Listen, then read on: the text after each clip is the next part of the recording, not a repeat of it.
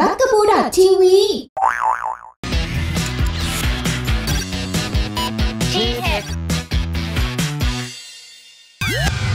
สวัสดีครับคุณผู้ชมครับวันนี้นะครับที่มีอีกหนึ่งมือถือจากฝรั่งเศสนะครับ มาฝากกันกับเจ้า Vigo Highway Star 4G ตัวนี้ครับ นี่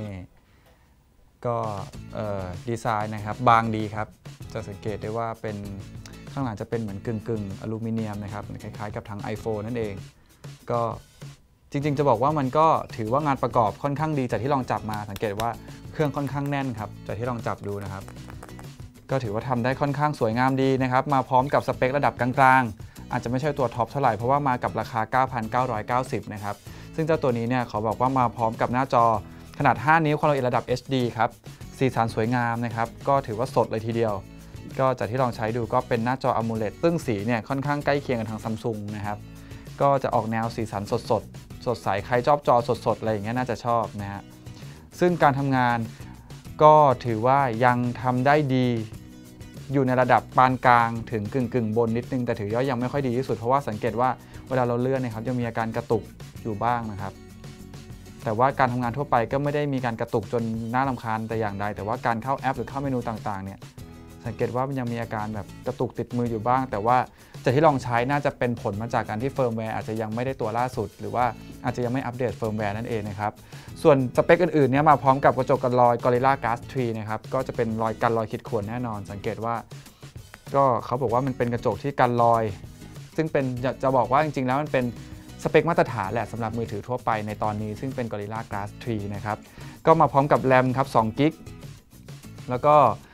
กล้องหน้า 5 ล้านนะครับกล้องหลัง 13 ล้าน ซึ่งกล้องคุณภาพเป็นยังไงจากที่ลองดู ถือว่ากล้องอยู่ในเกณฑ์ที่ดีครับ กล้องหลังก็เก็บรายละเอียดได้ค่อนข้างดีครับ สังเกตดูนะครับ ก็โฟกัสเร็วดีครับในในตึ๊บถือว่าทำได้ค่อนข้างดีครับ ส่วนกล้องหน้าเนี่ยสาวกเซลฟี่ก็น่าจะชอบเหมือนเดิมเพราะว่าทำได้ค่อนข้างดีครับ แล้วก็มีโหมดปรับแต่งบิวตี้ต่างๆ ให้เลือกครบครันพอสมควรว่าจะเป็น เนี่ยระดับ 1 ระดับ 2 ระดับ3นะครับอยากจะหน้าเรียวอยากจะยังไงก็สามารถปรับได้หมดกำหนดเองได้หมดตาโตใบหน้าผอมนะครับก็ตามสมัยนิยมครับมือถือสมัยนี้ก็ต้องมีหมดนะครับแต่จากที่ลองใช้มาเนี่ยจะบอกว่าเป็นมือถือที่ค่อนข้างทำได้ดีในทุกๆ ฟังก์ชันเครื่องหนึ่งนะครับ แต่ว่าสิ่งที่รู้สึกได้เลยกับการที่ได้ลองใช้เจ้าเครื่องนี้ก็คือ ในเรื่องของเสียงยังรู้สึกว่าเสียงเนี่ยยังทำได้ไม่ค่อยดี เพลงเดียวกันฟังจากเครื่องนี้กับฟังจากอีกเครื่องหนึ่งเจ้าตัวนี้อาจจะ ทำได้ไม่ค่อยดีเท่าไหร่นะครับ อันนี้เราเทียบจากหูฟังที่แถมมากับตัวเครื่องนะครับ เสียงเนี่ยยังรู้สึกว่า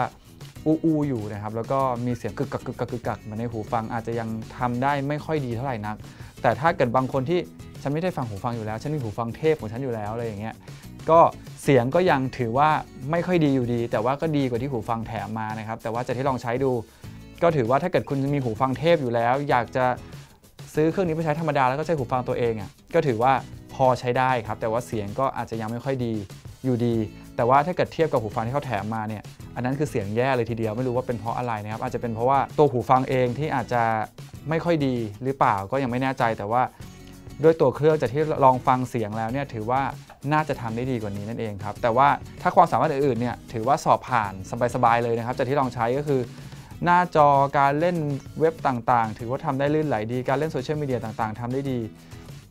สังเกตว่าการเข้าเมนูต่างๆเนี่ยทำได้เร็วครับ ไม่ไม่มีการหน่วงไม่มีการกระตุกอะไรแต่อย่างใด สังเกตว่าปุ๊บ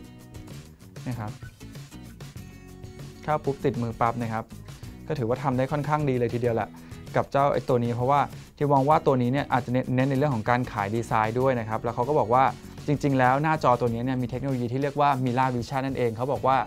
Mira Vision เทคโนโลยีนี้ก็คือเทคโนโลยีที่จะทำให้คุณเนี่ยสามารถดูคลิปได้ ชัดเจน สีสันสดใสเหมือนกับคุณดูจะผ่านจอทีวี ซึ่งก็ไม่แน่ใจว่าที่มันสีสันสดใสเนี่ยมาจากเทคโนโลยีนี้ หรือว่ามาเพาะกับจอ AMOLED ตัวนี้ ซึ่งอย่างที่บอกหน้าจอ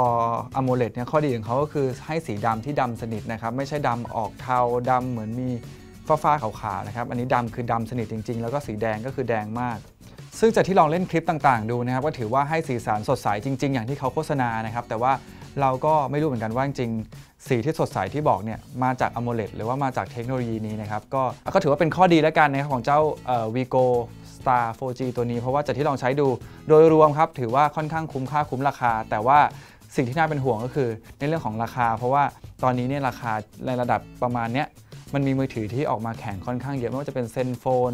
หรือว่า Lenovo หรือว่าอะไรหลาย ๆ อย่างที่ตอนนี้เนี่ยดั้มราคาลงมากันค่อนข้าง เยอะพอสมควรก็ทำให้มีคู่แข่งเยอะ ยังไงถ้าเกิดใครชอบดีไซน์นะครับหรือว่าใครชอบเจ้าตัวนี้เป็นพิเศษก็สามารถไปลองเล่นกันได้ที่ช็อป Vigo เพราะว่าถ้าลองเล่นจะรู้สึกว่ามันก็เป็นมือถือที่ค่อนข้างงานประกอบดีนะครับหน้าจอสวยสเปคค่อนข้างครบครันพอสมควรยังไงก็ไปลองเล่นกันก่อนได้นะครับที่ช็อป Vigo นั่นเองครับ